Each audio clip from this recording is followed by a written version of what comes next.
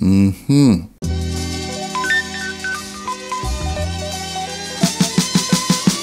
So right now we're under lockdown and your favorite pizza place closed so you can't get your gourmet style brick oven type pizza. Fear not, I have you covered. I'm going to show you how to do that right at home and following a few key steps, you can get that same gourmet style pizza. Now I'm going to make the recipe in this video exactly how I would make it myself, but I will give you the different alternatives, um, different ingredients you could use to achieve similar results. Um, to start off, let me tell you one time, it have two things that is make or break a pizza for me. And that is one, the crust, and two, the sauce. So I'm gonna show you how I just make my crust and how I just make the sauce. Okay, so jumping right into the dough um, slash crust. As you would see, I have two brands of flour. Now this one, you will be familiar with. This is the Ibis all-purpose flour. And I went through the whole process of doing the whole flour comparison and you know Ibis is one that I use regularly. This video is not sponsored, I'm not being paid to say this. This is what I would usually use when I'm making pizza. And for my latest iteration of this recipe, because uh, it's something that you know I keep updating as time goes by, I like to use half all-purpose and half double zero flour. Now double zero flour is a finer grain and it is not something that you would typically find in groceries in Trinidad and Tobago. If you know of any places that sell it, uh, please link it in the comment section below. But uh, this particular brand I get at All Italian. Um, All Italian is in Port of Spain. Um, I will post a link to the Facebook page in the video description as well. So, as I said, I like to use half double zero and half all-purpose flour, and I find that I get a nice stretchy dough when I do the half and half. So we jump right into making the dough. First off, we want to put the yeast to bloom. So we're going in at one teaspoon of sugar, two teaspoons of yeast. Get this a little stir. So the sugar gives the yeast something to feed on. And it's going to take about five minutes or so for the yeast to get nice and frothy and bubbly. We're going to add it to the dry ingredients and make the dough. I'll go in half and half with the flour. So I'm going in with one and a half cups of all-purpose flour, one and a half cups of the double zero flour. You want to add a pinch of salt. And as I mentioned before, the combination of the all-purpose and the double zero really gives the dough a nice kind of elasticy finish, but it also allows me to roll the dough out real thin. So I get a nice thin dough but it's not like biscuit. It's a real thin dough, but still chewy. And I don't know if that making sense, but at the end of this video, or by the time we reach the end of this video, I would demonstrate what I mean. You would see what I'm talking about. The yeast nice and bubbly and frothy, as you can see. So now I'm just gonna add it in and combine. And as you would notice, I didn't add any fat to this dough. No oil, no shortening, no butter. And I mean, this is something I've experimented with over the years. And I find that I just get the best dough or the best pizza crust without adding any fat. And I really had a shout out my partner, my Makesi, for showing me how to knead dough. Um, back in the day, back in the 90s, we used to run a little pizza business out of my mother kitchen in Morvant. And yeah, we used to do pretty good, you know. Every Friday and every Saturday, we would come out and sell pizza up our board out on the pavement. And people from the area used to come and patronize. And started off real small, and then it started to grow like taxis passing on the street with a CD sign, and you know, a taxi driver would have stopped and buy a quick slice. We used to sell by the slice. And it started to grow in popularity. So much so that we used to get orders. It's like during the week, you know, I might be on the taxi stand waiting for a taxi and somebody will pull up and be like, hey, all they selling this weekend? And be like, yeah, yeah, yeah. And be like, all right, I'm passing for a pineapple and a sausage. And, you know, started to sell whole pizzas rather than just by the slice. So, you know, we did, we did good business and sometimes I really wish that we had continued with it, but, you know, all that was part of the journey, man. All that is part of the journey. So shout out to my brethren, Makesi, Akil, Anthony, and of course Marlon, aka Yogi. Uh, he is no longer with us. He passed away a few years ago, but that was the crew. So history for you all day. So I'm gonna put this onto my surface and I'm gonna knead this for eight minutes until it comes to a smooth ball. And then we're going to cover it, let it proof for about 45 minutes to an hour. But in the meantime, while it's proofing, I'm gonna give you the second most important thing when it comes to pizza, and that is the sauce. And if you can't put your hands on double zero flour, there's no worries. Just use full all-purpose flour for this recipe and you'll still get great results. All right, so there's our eight to 10 minutes on the kneading. You have a nice smooth ball going on here. So just gonna put it into the bowl, cover it, and let it rest for, as I said, 45 minutes to hour. But now let's move on to making the sauce. So to build the sauce, I'm using fresh aromatics, of course, um, purple onion, uh, only because this is what I have right now, but if you have regular yellow onion, use that. You want a large one and a head of garlic. Um, I would say roughly about 12 cloves. So you want a very fine dice on the onions. And I'll show you how to achieve a fine dice with a little trick that I learned on YouTube. So cut your onion in half, you put it down like this, and then what you're gonna do is cut along these ridges on the onion. So cut it like this.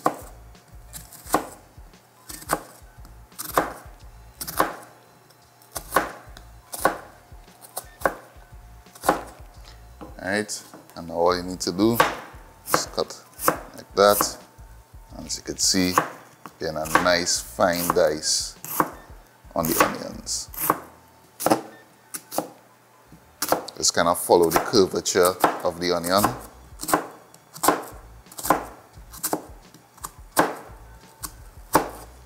Slice.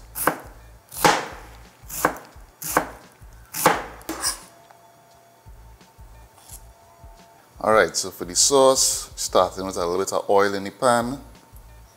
Get that nice and hot over a medium flame. And now we're gonna go in with the onions. And what we want to do is saute these until it goes translucent. So it'll take about a minute or two over medium flame. Alright, so now that we have some nice color going on the onions, we're gonna season with a little bit of salt some black pepper. Going to add our garlic. We're to let this saute for another minute or so. So right about now we're ready for the next ingredient which is tomato paste. Now please do not substitute ketchup for tomato paste. They are two totally different products. So tomato paste, not ketchup. I'm going to add this in and there's 375 milliliters of tomato paste.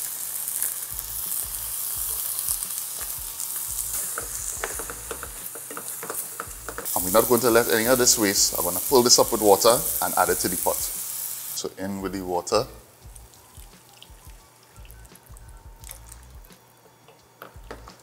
It a stir. Now adding some dry basil.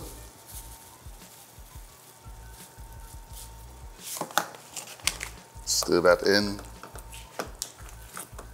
And I'm going to cover this and let it cook for about 20 minutes.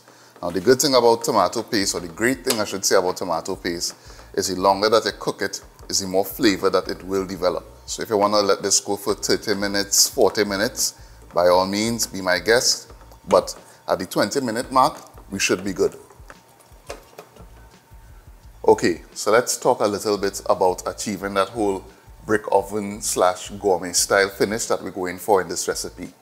So typically when you're making a pizza at home, you would roll out your dough, put your sauce on, tray ingredients on, and put it in the oven and let it bake for a required um, amount of time. This process is a little different. We're going to try to achieve the brick oven finish by using extreme heat, the same way a brick oven works. But the thing is, if we just throw it into the oven at extreme temperatures, all that's going to happen is the cheese is going to burn, your ingredients going to burn, and more than likely your dough not going to cook. So what we're going to do is cook the dough first on the stove top before we put it in the oven. And that's a little trick that I picked up online, so I'm sharing it with you. Now, I am using a tawa for this recipe, this video, but if you don't have a tawa, a frying pan will work. Also, if you have a pan like this, then it can get even extra fancy and go for a kind of flatbread style pizza. What you're looking for is anything with a large flat surface that you could cook the dough on. Okay, so the purpose of going through this step is really to cook the dough before it goes into the oven. We're going to make sure that the underside of the dough is cooked right through and that's going to take about a minute and a half on the stove top. Flip it over and cook the top side for about 30 seconds. So we just par cooking the top side and then we're going to finish it off in the oven. Now the oven is going to be set at the highest that the oven could go at, highest temperature, and we're using the broiler setting on your oven. You're going to stick it right up under the broiler. So for me, that's the top shelf. Stick it right to the top. It's going to cook the dough, melt the cheese, cook the toppings, and get everything that nice gourmet style that we're looking for. And if you don't believe me, just watch. All right, so our dough has risen. It's gonna punch the air out. And I mean, this is a lot of dough. So you could make about, I would say, six to eight pizzas from this amount of dough. And the great thing about this is you could use what you want and stick the rest in the fridge and you have dough to make pizza whenever you feel like making pizza. So it's gonna rip off a piece here. And it is about all you need, you know. It's a little handful. Sprinkle the surface with a little bit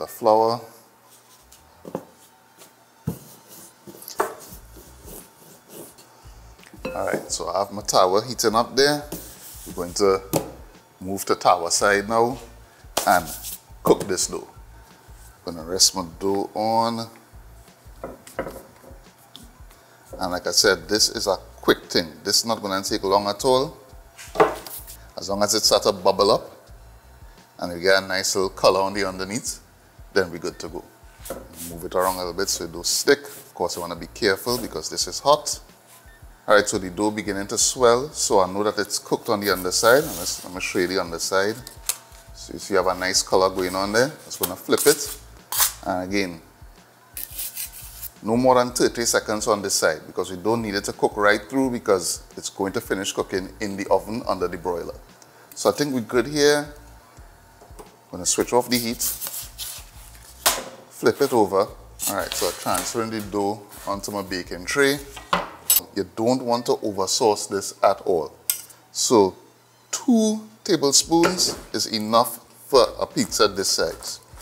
You don't want the thing swimming in sauce because if you add too much sauce, then the cheese is going to just slide off the pizza. It's going to be wet. We don't want that. And because we're going for that whole gourmet style pizza, I'm using mozzarella cheese. If you don't want to use mozzarella, feel free to use, you know, your regular cheddar. If you want to use goat cheese, go ahead. A goat cheese pizza that tastes real good. And of course, at this point, the toppings is whatever you like. You know, whatever you feel for, feel free to add what you want. Again, at this point, is really whatever you like. This might be an unpopular opinion, but I prefer a veggie pizza over a meat pizza any day. I, if I had to be honest, I really don't like meat pizza. I'll tolerate it. You know, you put a meat pizza in front of me, I go eat it. But it would never be the thing that I would go for first. Not a fan of meat on pizza at all. And the final touch to put on this is a drizzle of olive oil and important to the overall flavor as well is a little bit of seasoning of salt and black pepper for the veggies. And seasoning the veggies is going to bring out each of their flavors. So you're going to get, you know, nice flavor from the onions, the mushrooms and the sweet pepper. Okay, so that's it. Into the oven, five minutes under the broiler at full whack. All right, five minutes later, and I mean, look how we looking here now. The cheese perfectly melted, veggies perfectly cooked. You have that nice color going on on the crust of the pizza. Add a little bit of pepper flakes. All right, so now going in for the cut. So you have a nice little crisp going on. So like I said, we have a nice thin crust pizza, but as you can see, it's not biscuity in, in the sense that it hard and you still get that droop from it. That pizza known for, you must get the, you must get the droop. You must get that droop. Where's pizza without the little droop at the peak? Must have that droop. The crust cooked at the bottom, and the nice droop going on, going in for a taste. Mm-hmm. It's a nice thin dough, but it's chewy. It's not brittle at all. So, see how it's short ripping? You're not breaking apart like it's a biscuit. And that's what we're going for. So yeah, the place might be locked down. You might be able to go out and buy your favorite pizza, but you could try this recipe and make it at home. You know, if you're quarantining with your quarantine bay, it's a nice little, you know, date night special. Bring out a glass of wine, you know, you have your nice gourmet style pizza, make a little event of it. Or you're home with the family and you want to make some pizza for the children. Yeah man, you could make a few pizzas, let them top it with the favorite toppings, and you have a nice little pizza party going on, of course, within the COVID regulations. Now, this is not the Goodfellas secret recipe. Of course, I can't show you that because if I show you that, Anthony, Kessie, and Akil go kill me for that one. So, hard luck there. But trust me, this is our boss recipe. If you try it and you like it, you know, let me know. If you like this video, give the video a thumbs up, give it a share, share it with your friends. And if you're not subscribed to the channel, please take a moment to do so. Of course, a link to the full recipe will be posted in the video description. And if you're not subscribed to the channel, please take a moment to do so. Thanks for watching, and I'll see you in the next one.